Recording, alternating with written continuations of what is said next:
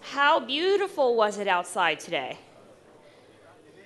Amazing, exactly. Very nice. Um, and I'm so glad to see so many of you here um, after dinner for what I think will be a very uh, interesting series of, of discussions. So we're, we're going to have, um, I'm going to have a fireside chat with um, Eczacıbaşı, and then we'll have um, uh, Serdar uh, Kuzul, Kuzuloğlu afterwards, um, afterwards talking, and then we can break and, and resume our, our drinking for the evening. Um, but in the meantime, I wanted to um, introduce our, our next guest, who is a very prominent businessman here in Turkey. He is part, um, he is the vice chairman of Eczacıbaşı Holdings. Um, and he, um, we had a lovely chat over dinner, and he's got really very interesting insights in terms of what the old economy and the, and the old establishment of the, of the business um, here in Turkey represents and why he's here and talking about entrepreneurship here um, at Startup Turkey here in Antalya. So please join me in a warm welcome to Faruk Eczacıbaşı. Chuck.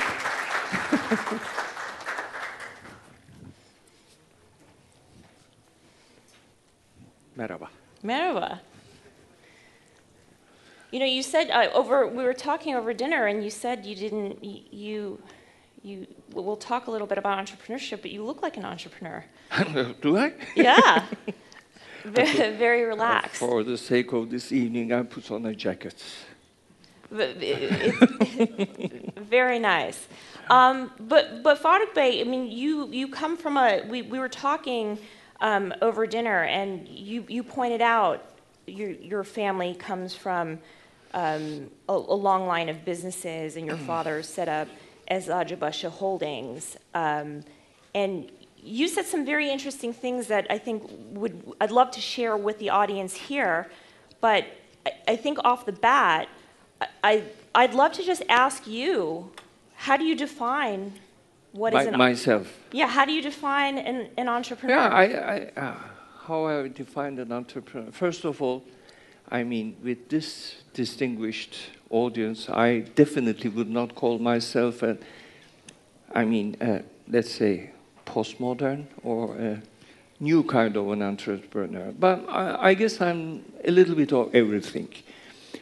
My, my dad was a classical entrepreneur and a very strong personality with all its advantages and shortcomings of being an entrepreneur. Yeah, I mean, he was a shrewd, courageous, intellectual personality. On the other hand, he was also very uh, uh, emotional personality. I think these were all the characteristics of a typical entrepreneur but at that time, in the beginnings of the 50s or at the 40s, it, uh, Turkey had almost nothing at that time. So, I mean, uh, compared with today's entrepreneurs, I mean, uh, it's, it was still very difficult. It was a fight against the general trend. On the other hand, uh, I mean, everything what was brought into the country was something new. And if you are successful in establishing that, uh, then uh, you became an entrepreneur. But I think that was not the most, the best part, part of it. At the beginning of 80s, 40 years later, 50 years later, when Turkey started to become uh, I mean, when it opened up it ga its gates to the outside world uh, and was not satisfied only with the domestic market anymore. I think I have to give the credit to him that he took the courage and uh, of giving the whole responsibility of a good group of management. This is what, and this was what it say, what saved Eczacıbaşı uh, Corporation at that time. I mean, we were, we had a very hard four years of transforming ourselves from a strictly uh, entrepreneurial company for 40 years to a real institution with strong management. And that was the second uh, phase. And that's when, we, when I started my career in the company. So I started with an attitude of a strong uh, entrepreneur in the family. I was in the business parts of the group.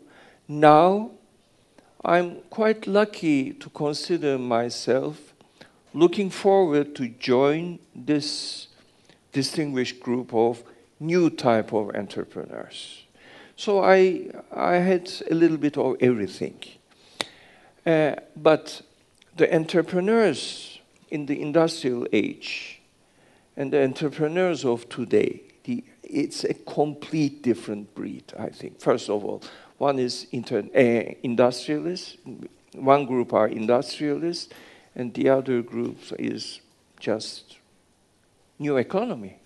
And you don't see the industrialists as as entrepreneurs? Of course, I see. For today, I mean, of course, there are entrepreneurs, and there will be industrial entrepreneurs in the next future too. But they, they are different. They are just different. Um, just to give an example, uh, and I think it was an issue this morning. What is the most important issue of an industrial entrepreneur? It's the product. It's the service itself. But for the new breed entrepreneurs, it's the company and it's the talent. These are the points where you put most, uh, most of the emphasis on. And uh, the garbage can of the old industrial history is when the change of generation started. I mean, the companies were, were more or less the third or the second child of the entrepreneur himself. And I'm sure, uh, I mean, uh, if they don't think about that, uh, they, I'm sure they didn't uh, do their lessons well, the first issue what they, uh, those guys in here should think is how to get, uh, how do I uh, plan my exit? And this is, I mean, this was, this was kind of a taboo in the old industrial age. I mean, it was the company and it was uh, it, it should be inherited from generation to generation and to generation. Uh, eight years ago, well, our last name is Eczacıbaşı, which means the head of pharmacist.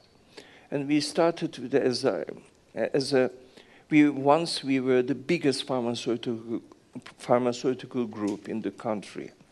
And now, we, uh, due to different issues, with, uh, due to the government, due to the market, we never had our R&D for ourselves.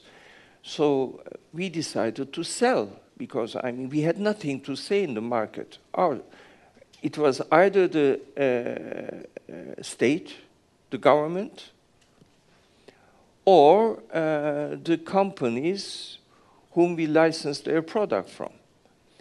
So we said um, it doesn't make too much sense of being in that uh, area. And we decided to sell a big chunk of the group. And uh, I mean, my father, I mean, if he was probably, if he heard that, I mean, uh, we are definitely not the uh, best kids. And, but the reaction we got from the market in general, from the people, how dare you sell your uh, I mean, your family's company, your family's main business area. I mean, even family members, they were blaming us with taking this decision. That, that's an interesting point because um, I, I, think a lo- I think a lot of people, when they look at a company like Eczacıbaşı, they look at it as, as kind of the old establishment in, in Turkey. And we're here at Startup Turkey, and it's very much part of the new Turkey mm-hmm. and, and the grassroots of something that, that's coming out new. Um, and I, I, I, have two questions on that. One is, how, how did you, you're talking about your father, you know, saying that you're, mm-hmm. not, you're not very good children. Um, often my mother says that sometimes about me. Um, uh, how, how, do you, how do you kind of define that vision that you had? Because clearly you saw something at a moment. Yeah. Um, and able to do that. So if you can talk a little bit about that. Sure.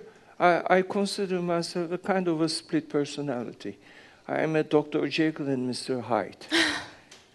uh, on one side, I'm still an industrialist. On the other side, I'm eager looking for uh, new investment possibilities, but it's completely uh, separated from our own area. Uh, my experience a couple of years ago when we started with a new venture, we, when we bought a, a, company, when we, I mean, uh, when we be became partners with them, we had to go through a, a stage of legal procedures plus. Uh, due diligence process. Mm-hmm. And I had to share with uh, our legal advisors in the corporation and some financial people in the corporation to go through that process. And it, I mean, it took for six months, seven months, going all through that simple procedures. And there you realize that the difference between a management team and an entrepreneur.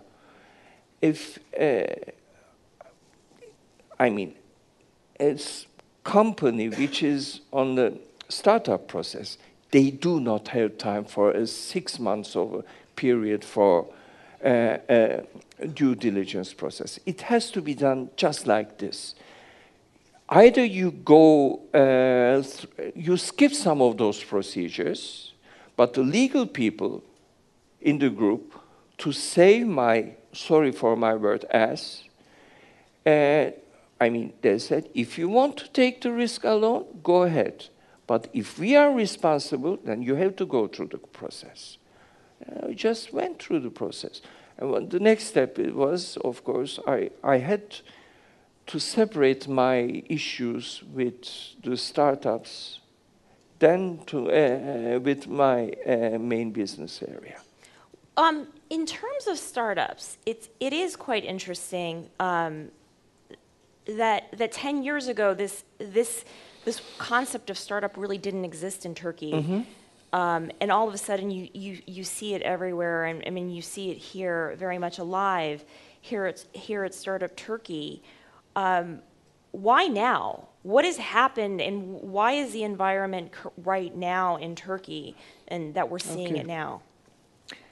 When I got into the business in the 80s, that was 30 years ago, third, uh, Turkey, third, Turkey was already in a, in a high inflation economy. It took 40 years until we got rid of this high inflation economy. And high, uh, high inflation is something very sneaky. It's not hyperinflation. High, hyperinflation, you just have for at least two or three months, you get into a deep crisis and you have to solve out this problem. Mm-hmm. Israel uh, went through that, Germany went through that. There, there are a lot, lot Russia went through that. There were a lot of co- countries which went through that process. But high inflation is, I mean, you get used to that. And first of all, you don't have any money to dig for four, uh, to put into, uh, into some investments for four year and wait for the results uh, after that. You just need to get results immediately. And so nobody was interested in doing R&D. Nobody was interested in seeding. And uh, so almost two full productive generations went through that process after 60s, 70s, 80s, 90s.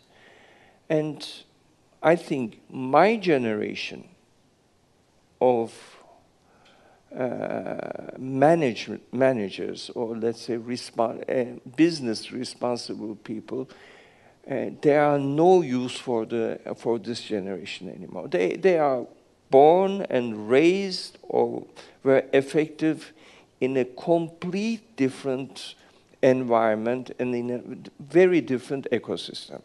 Now, 10 years ago, we got rid of this high inflation.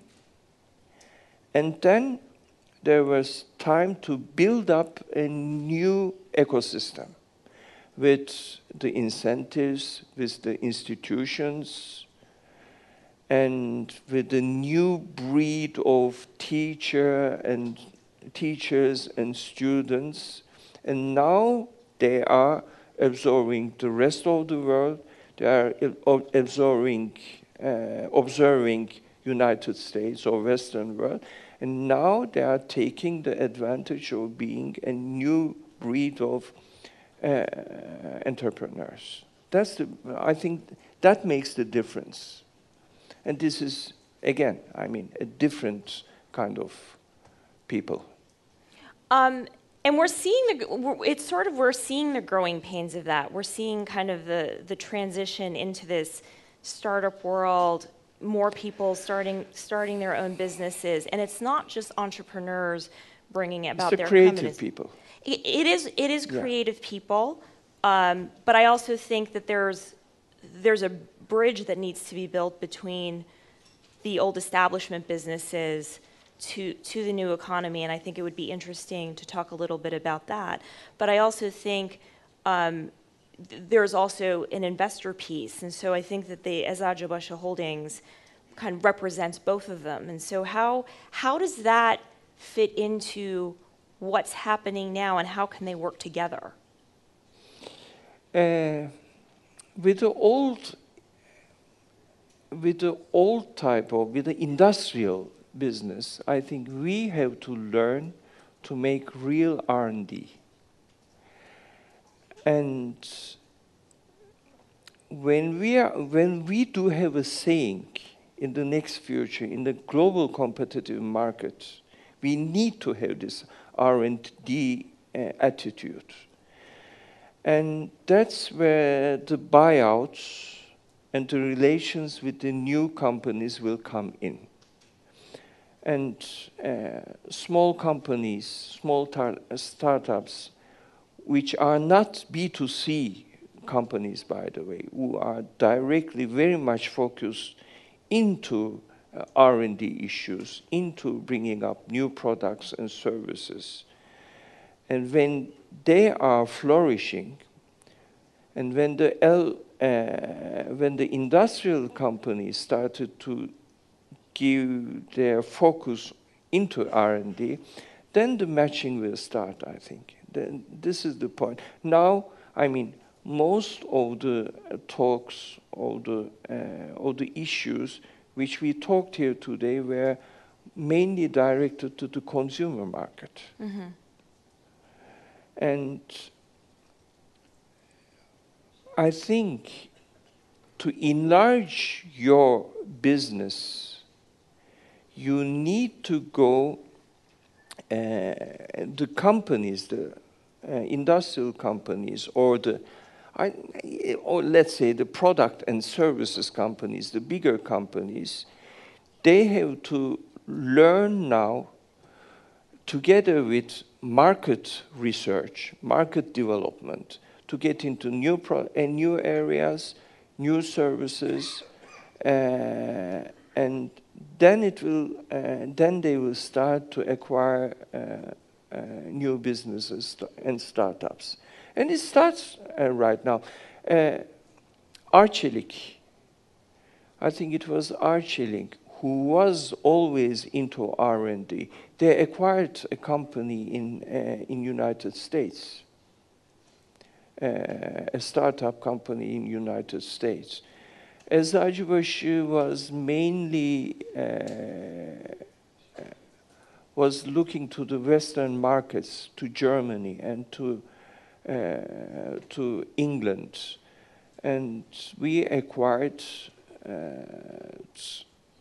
a 70% of one of the oldest established uh, German companies, the tile division of Villeroy and Boch, which were owned by some princes and princesses, barons, a very blue-blooded company.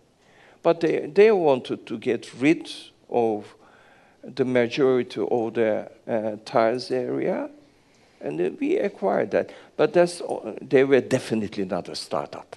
I mean, I mean, the company was built in the 17th, 18th century or something. Right. But it's, it's, it's, it was part of a learning process.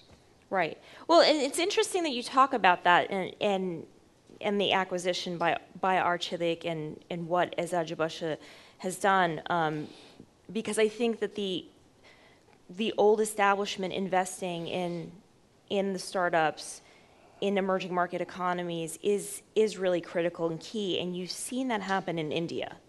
Mm-hmm. You've seen the old the old established companies really come in and invest and acquire and and really be involved in the new technology companies that are that are coming up. Will we see that here in Turkey? Mm, good that you mentioned India because India was one of the pioneers of a new economy not only in the software market, they, they established their rules in the beginning of the 80s. And that changed the whole economy of India in the 90s, at the beginning of the uh, 2000s. So there are a couple of steps ahead of us. We started with our institutions in the 2000s. I think that makes the big difference. I mean, are we late? I don't think that we are late. I mean, we have a quite big creative power. Uh, but as long we are seamlessly able to proceed with our uh, development, I mean, I don't see too much of a problem. But India was ahead of us is still ahead of us. When does Turkey catch up, though? What, and I guess this is a good, it's a good transition to talk about where, where does Turkey go now, especially since it is this very volatile period in, in Turkey politically. Yeah. And the world is watching. I know that where I, where I sit in New York City, you know, every, everyone's always asking me what is going to happen in, in Turkey next. And the other question I get, because I follow entrepreneurs and the startup world, is what happens to Turkish entrepreneurs now? Oh, the, I think in the long term, uh, I'm very optimistic. In the short term, we will have a couple of hur hurdles, apparently. I mean, you saw the explosion of creative forces in the Gezi Park. And that's still continuing, and that will continue. There will be always clashes between progressive and conservative forces, always. But I think the trend is general, generally with uh, uh, towards the dominance of the progress, as long as you have a free market, of course. There will be always clashes. There will, there will be always, always confrontations but the end of the day, as long as you are able to accept the mechanism of a free market in the sense of, I, I mean, I don't mean free markets as a absolute free market, but as, long as you are able to allow the rules of the market, I think uh, the, uh, let's say, uh, let's put it that way. Uh, the, the technological development and the outcomes, it's always and was always towards a democratization process. It's good for the consumer, it's good for the individual, it's good for the uh, people. And that will continue. You can't stop that anymore. And it's always for the it's always towards the increase of the con uh, comfort zone of the uh, single individual. And nobody, uh, I don't think that anybody will be able to give up that in the next future. Um, I, I, was so excited when Burak asked me if if um, if I, I, would would be willing to to have this chat with you. Um, and my, and my the one question I had was, you know, it's so it's so interesting that you, you would want to come here and and talk to, well, to talk to such a Turkey. nice experience here. Um, and I I would love for you maybe to share kind of what what are you expecting to get out of out of Startup Turkey and and why is it important for you to be here? To here. Yes. I mean, I I was just telling Burak it's an it's a whole whole month of an experience what I went through here. I mean, I never been in such a big group of motivated uh, breed of new type, whether they are investors or project makers or uh, researchers or uh, internet people. I never been in such a big group until now, and I'm very enthusiastic about. Um, and I guess as and thank you for accepting me, by the way. Oh, I think I think everybody's I, I think everybody's thrilled that, that you're here and, and talking to them. And I think maybe as as we wrap up, if you can just if you have some ad, advice for people who are starting out in their businesses and and, guess, and their investments. Yeah, I think the. Uh, I'm not in, in a position of giving advice to anybody. But what I would like to say is that everybody needs a little patience, I think. The market forces need to be fast. And I think, again, I think it was Mustafa Bey this morning, was and no, uh, somebody said uh, it's the best time of starting a startup, creating a startup, because the times are bad. That's true. If you start it right now, and when it becomes the economical boom time, then it will flourish. It will flourish like hell. So it's time to wait, st to start with the business, but wait for the successful results, and I think for, it will take a couple of, let's say, a couple of years, probably one or two years. But I'm very, very optimistic for the future. Well, great. That um, I think we're all on on that very happy note. Um, we, it's such a pleasure, such a pleasure to talk Thank to you. Thank you, Elvira. Um, it was so nice to talk to you. Well, the, pl- the pleasure is mine. Please join me in a round of applause for Mr. Faruk Eczacıbaşı. Thank you. Thank Çok you. teşekkürler. Thank you. Ben teşekkür ederim.